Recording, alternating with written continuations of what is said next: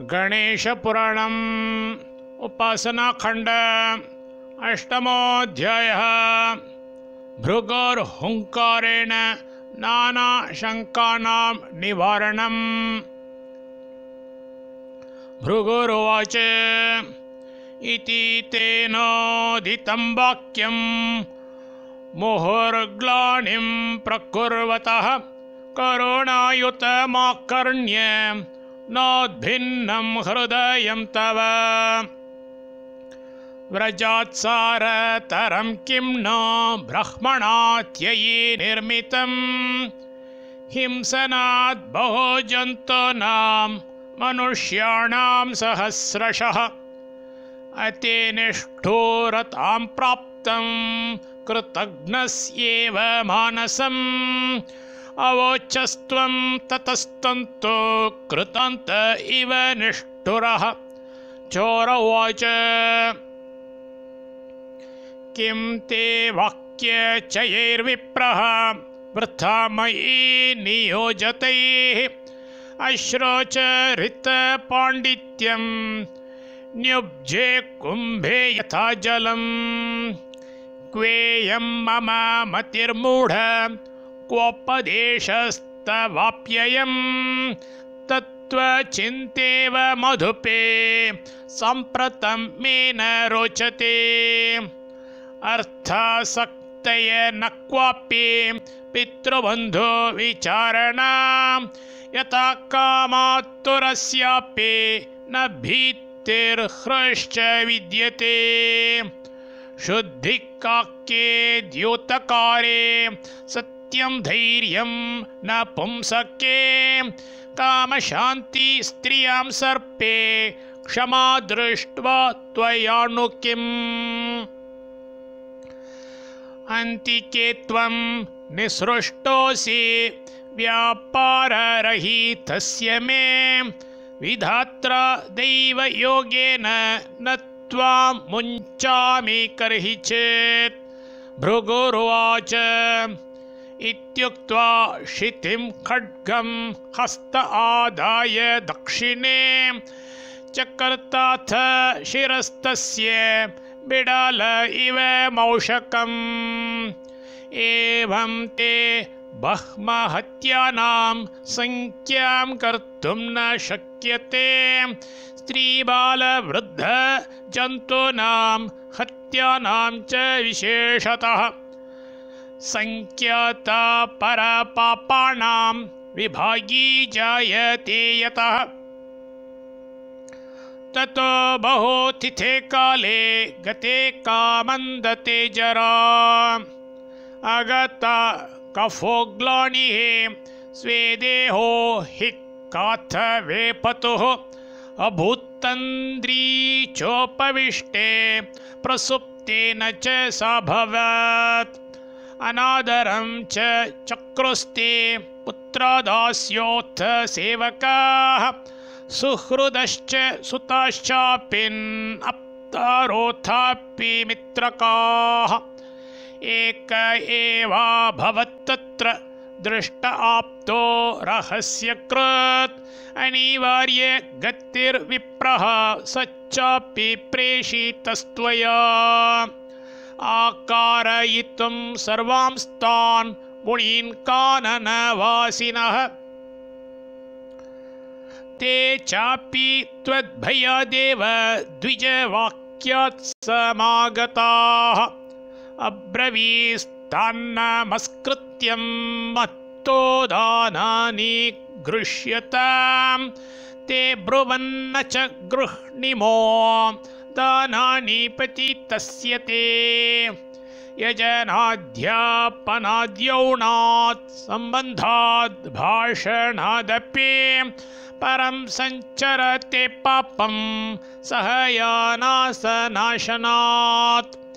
इति ते भाषणास्त्वां गत्वा च निजमाश्रमं सस्नु सचैल सर्वेऽपि पवमाणिस्ततो जपन्। ततो नो तापो मनसि जातः कामन्दते भृशम्।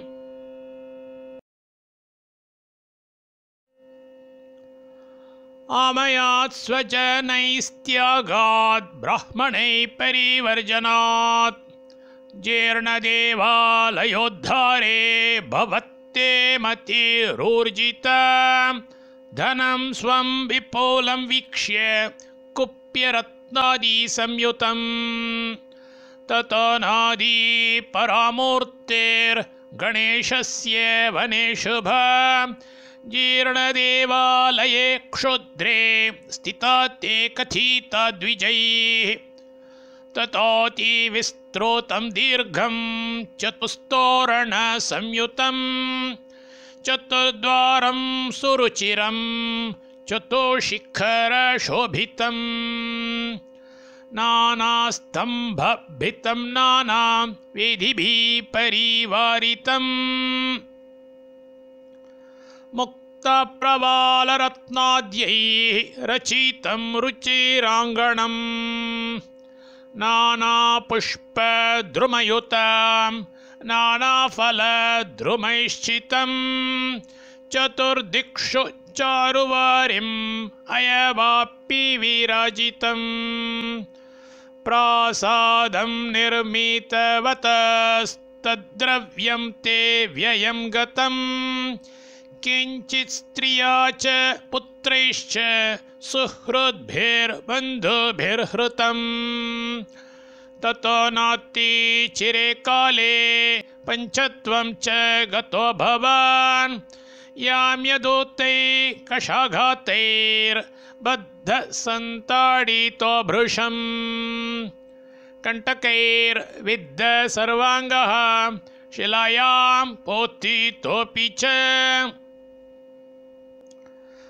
मज्जितो नरके घोरे पूय शोणितकर्दमे एवं नीतस्तुतैर्दूतैश्चित्रगुप्त यमान्तिके। यमेन पृष्ट किं पुण्यम् उत भोक्ष्यसि पातकम्। त्वमवोच पुण्यमहं पूर्वं मोक्ष्यामि सूर्यज। तत सौराष्ट्रदेशे त्वं राजत्वेन विनिर्मितः। इति ते कथितं पूर्वजन्मपपकर्मया शरणागतकारुण्यात् तपोबलसमाश्रयात् कान्तप्रासादकरणात् सोमकान्तो भवो नृपः कान्तया कान्ततरया भासिकान्त्य शशि यथा सोतोवाच, भृगोणाभिहितं श्रुत्वा सोमकान्तो नृपाधमः। तद्वाक्ये संशयापन्न आसीदश्मेव निष्क्रियः। वेदशास्त्रार्थविदुषो भवद्विदः। तपस्विनो भृगोर्वाक्ये यथ स संशयं दधो निरगन् क्षणमात्रेण तस्याङ्गात् पक्षिणो भृशम्। नानावर्णाकृतिधरा भभक्षुर्नृपतिं तदा। उडीयोड्डीय चञ्चोग्रैर् दधंशुर्नृपशुं दृढैः उत्कृत्योत्कृत्य मांसानि निजक्षुस्ते मुनिसन्निधो। ततोदिदुःखिततनुः शरणं पुनरागतः अवदद्दीनया वाचा भृगुं ज्ञानतपोनिधिं राजोवाच। जातिवैराणां परस्परभयं न हि त्वत्समक्षं कथमिमे मृतं मां मारयन्ति च। त्वत्पादप्रवणं दीनं सकुष्ठं शरणागतम्।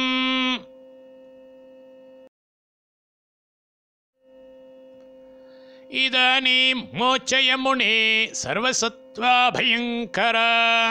सूतोवाच इत्युक्त पुनरप्याह भृगुस्तं दीनवत्सलः मद्वाक्यसंशयादित्य अनुभूतम् अनुभूतं नृपत्यया।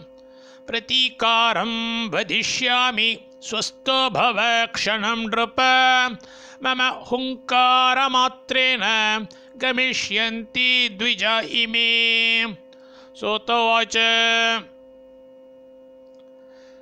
द्विजस्य हुङ्कृतिं श्रुत्वा द्विजाश्चान्तर्हितस्तदा।